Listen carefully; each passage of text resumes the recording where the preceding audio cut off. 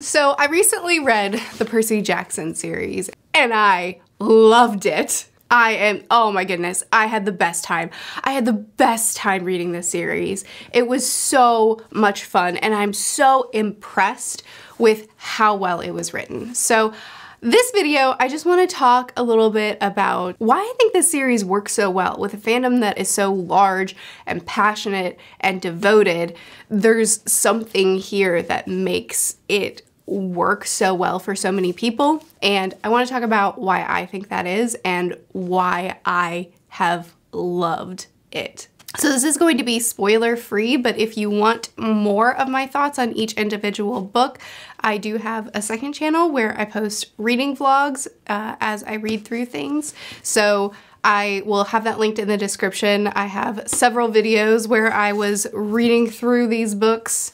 So you know, check that out if you want that. By the time this video goes up, the reading vlog with my fifth book reactions, thoughts isn't up yet, but it'll be up soon. So there are a lot of reasons why I think the series succeeds so much in so people, so many people's minds, but I'm going to first talk, the first thing that I talk about is going to be the first thing that we're introduced to, and that's the narrative voice. Look, I didn't want to be a half-blood. If you're reading this because you think you might be one, my advice is close this book right now. Believe whatever lie your mom or dad told you about your birth, and try to lead a normal life. Being a half-blood is dangerous. It's scary. Most of the time, it gets you killed in painful, nasty ways. If you're a normal kid reading this because you think it's fiction, great, read on. I envy you for being able to believe that none of this ever happened. But if you recognize yourself in these pages, if you feel something stirring inside, stop reading immediately. You might be one of us, and once you know that, it's only a matter of time before they sense it too, and they'll come for you. Don't say I didn't warn you. This entire series has this amazing narrative voice where Percy is telling his story, but he's telling it after the fact. So there's little drops of breaking that fourth wall of him uh, talking about things in retrospect, but for the most part, the narrative voice is is kind of in the background. For the most part, Percy telling his own story, you kind of forget that he is and you're just fully immersed and engaged in the story. But every now and then he pops back out of that of that narrative and he and he chats with us a little bit and the way that it's done is so engaging and so unique to this story and so much fun. Not to say no other story does this, but the the way it's done is unique to this story. So the baseline setup for this story is that we're following a group of kids who are demigods. And what that means is that one of your parents is one of the Greek gods and one of your parents is immortal. So you're half god. And with this, you are a lot more strong, a lot more powerful, but you also have a um, target on your back where evil creatures uh, seek you out to kill you because they can sense what you are. So being being a demigod, it's a dangerous life, but uh, it's also a really, really exciting one. And with Percy, we first meet him when he doesn't actually know that he's a demigod and he's just gone through life kind of being the problem child. Uh, he gets expelled from school after school. He's always getting into trouble. He's always causing problems. And because he has ADD and uh, dyslexia, he also really has trouble with school. Quickly into the first book, he learns that he is a half-god and that he needs to get to Camp Half-Blood in order to survive because there are creatures out to get him, and also to train up and learn how to be what he is meant to be. He also learns that these learning disabilities that he has are actually something that all half-bloods have because they are their brains are hardwired to read Greek and not English or whatever language that they're reading. So that's why they have such a hard time focusing or deciphering words a lot of times, which is super cool. I really, really love that. If you don't already know, I'm dyslexic and I love this concept. I know that if I had read the series when I was a kid and I was struggling so hard, loved books, but could not pass a reading test to save my life, and I had this narrative presented to me that the reason you struggle so much with one of your favorite things in the world and the reason you always get bad, bad marks on your favorite thing is because you're a demigod, because there's something different about you that opens up a whole new world to you. How cool is that? That's awesome. Anyway, back to Percy. So, that's the setup for the story. That's the setup for how we're introduced to Percy. Percy is the best boy. He has this dry humor that is all throughout this entire this entire series is painted, it's coated in so much humor. That's so much fun. Not just with Percy and the way he looks at life and the way he responds to things. It's not over the top. I've read some stories that have a very dry humor that's just constant. The character can't take anything seriously and it drives me nuts. Percy takes things very seriously and he really evaluates situations and he really does his best by the people in his his life and by the situations he's put in. But at the same time, he also has this humor throughout everything that's just sprinkled in at the exact right amount. It's wonderful. But he's not whiny, he's not full of himself, he's not bland, he's full of personality and he's full of flaws, but they just feel like real flaws instead of insert flaw here. And he will generally put all of himself into these quests that he's given, into helping people into saving people into trying to do what he what he believes is best. But he's also faced with so many obstacles both physical and mental as well as confronted with I don't really know what the right thing to do here is. So I just have to trust the people around me and do my best. He's caring and kind and brave and strong and fails. And he's a fantastic protagonist to follow. But it's not just Percy that makes these books. He has this very close-knit group of friends that are just as significant to his successes, to the story. They have just as much personality and character put into them as he does. Annabeth, who is proud and strong and who has something to prove to the world, is also extremely cunning and smart and brave. And her knowledge and her tenacity is just as significant to us moving forward as Percy's qualities are.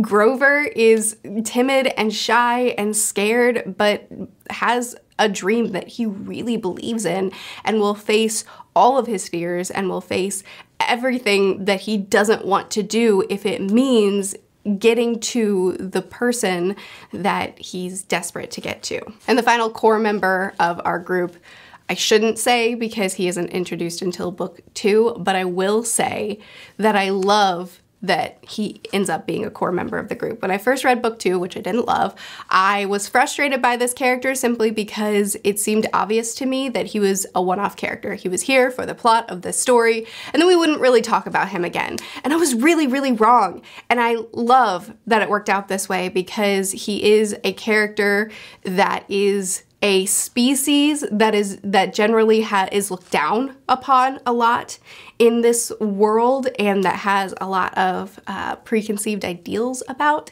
And i just thought that he was going to fit into that category. We were going to interact with him. We were going to move on. But it turns out that Percy develops a deep, deep bond with him and breaks through those barriers and breaks through those ideas of the world and it ends up being, he ends up being an amazing character for this series. Keeping on track with the characters, I love how present, positive, and loving adults are in this series. Percy's mom is kind and patient and loving and sacrifices so much to keep Percy safe, but she's also strong and independent and and wise. And there's there's this one scene where Percy needs her blessing and she's like you're my son and you're about to do something so dangerous how can I give you my blessing in this? And she's so supportive and understanding of this situation that Percy's in and so so caring and and there for him around every corner but at the same time she's his mom and she still struggles with how much danger he's put in every single day she's aware of, of who Percy is and, and what's needed of him. And she loves that he's rising to this call, but she's still his mom. And and their bond and their relationship and the way Percy views her is so beautiful. And I understand that it's easier to have a bad or non present or dead parents when you're writing a story about kids doing dangerous things and not having parents stand in their way. But I love that what Rick did instead is he created sometimes terrible adult influences. Sometimes there were people, sometimes there were gods, who were horrible, big roadblocks, bad, bad people. But sometimes, a lot of times, we were surrounded by parents and by uh, camp counselors at Camp Half Blood and um, just people that truly cared, but also just understood what our characters needed to do and stood by them instead of just being removed from the equation. We even have one character, one very relevant character, who has a dad and a stepmom, and her feelings surrounding the family dynamic are really complicated, but it's still shown that compli- that complicated family relationship is shown really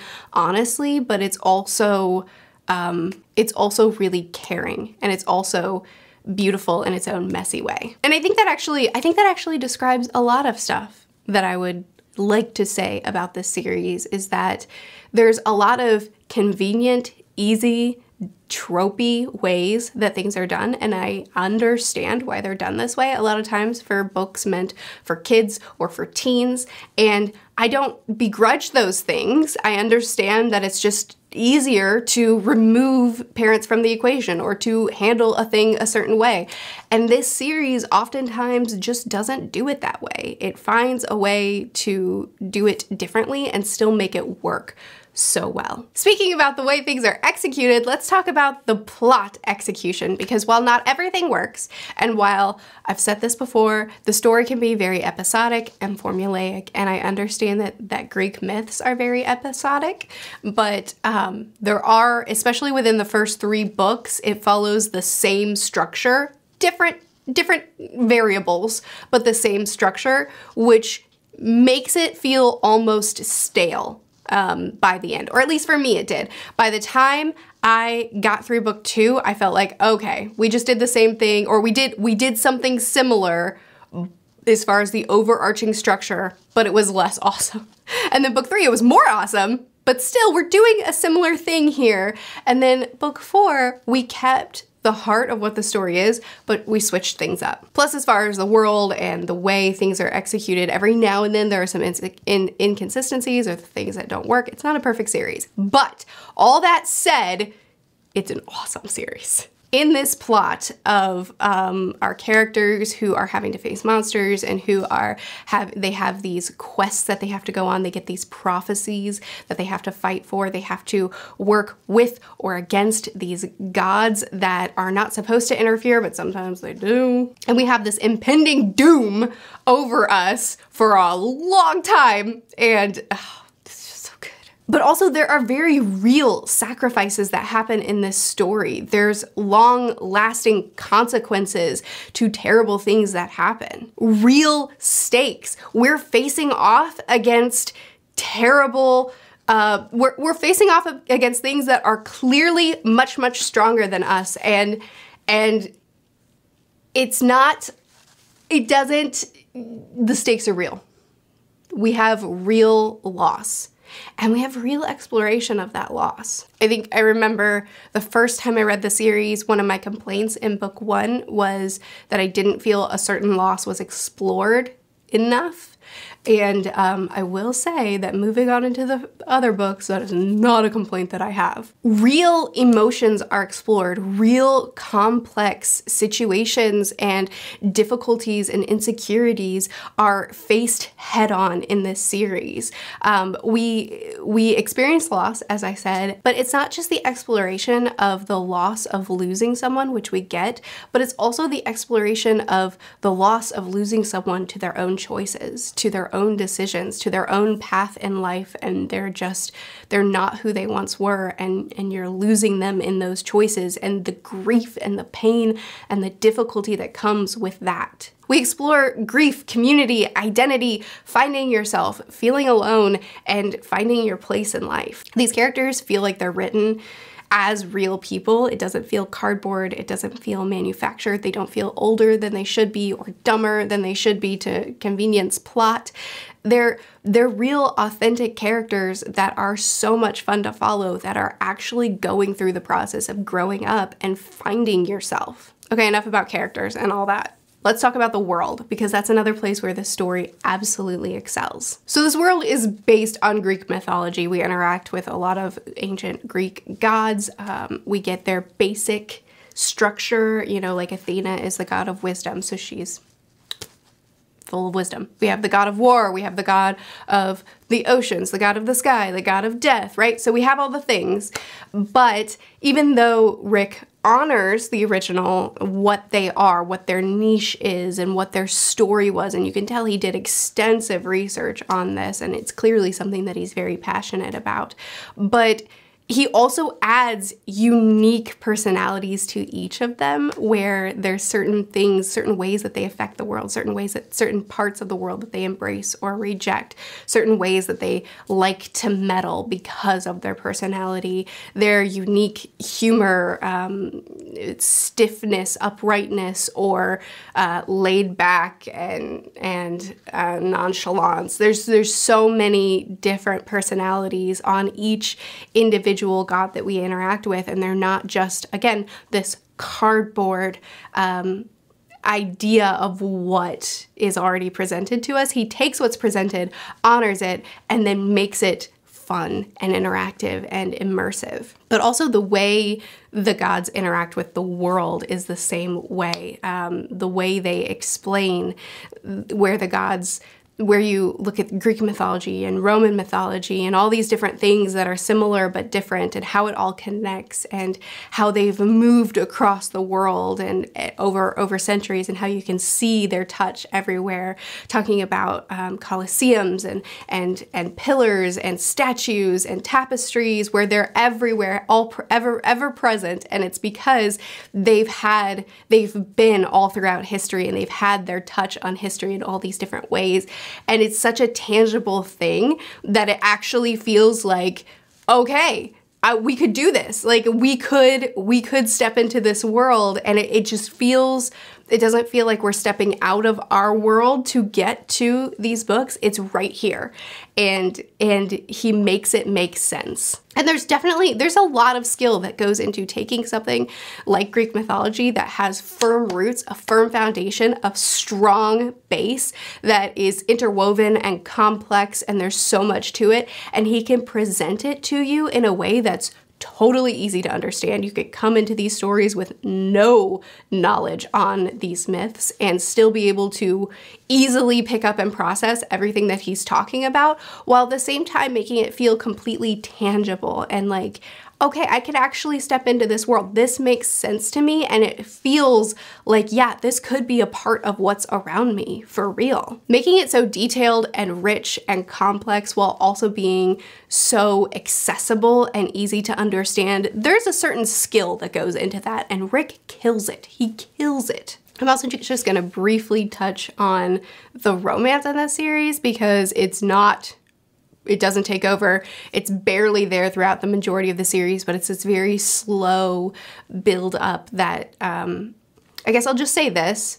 In a world riddled with insta love, this is a partnership. This is something that has a firm foundation, that's deep, that is earned, and that is so satisfying. I could go on. There's so much that there's so much that I could still talk about. But there's a couple, just, just give me like two more. Give me two more things. There's so much pulling away from expectations in this series. There's so many times where we think, okay, this is what's expected of our heroes. This is what they have to do.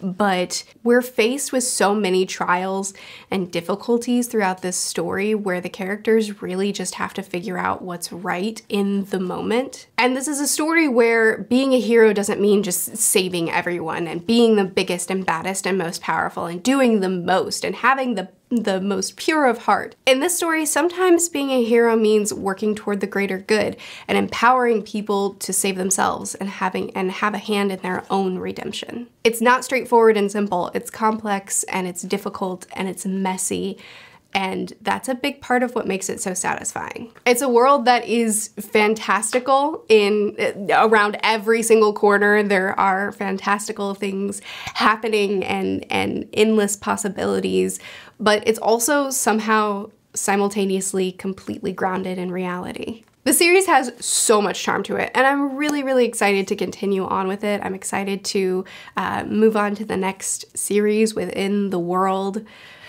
That's gonna be awesome. But also, I'm I have a few videos planned for June to continue talk about this series as well, so there will probably be some more content about this, but I'll also be continuing on with the series because honestly, I've just had a blast. I've just had so much fun reading this, far more than I expected. I thought I was gonna like it the second time around because I read a lot more middle grade now than I used to, and I'm enjoying it a lot more, and I could just tell that I read the series at the wrong time before, and I, I, I felt good about liking it this time around but I had so much fun reading it and I'm really, really, really excited to continue. Anyway, I would love to continue chatting with you in the comments. Do you love the series? Please tell me why, what it means to you, why you think it's awesome. If you don't like it, you can talk about that too. But I just wanted to talk about all the reasons why I think this series works so well, why it has such a devoted and loyal and strong fan base. And I'm actually really excited for the adaptation now. I'm I know Disney Plus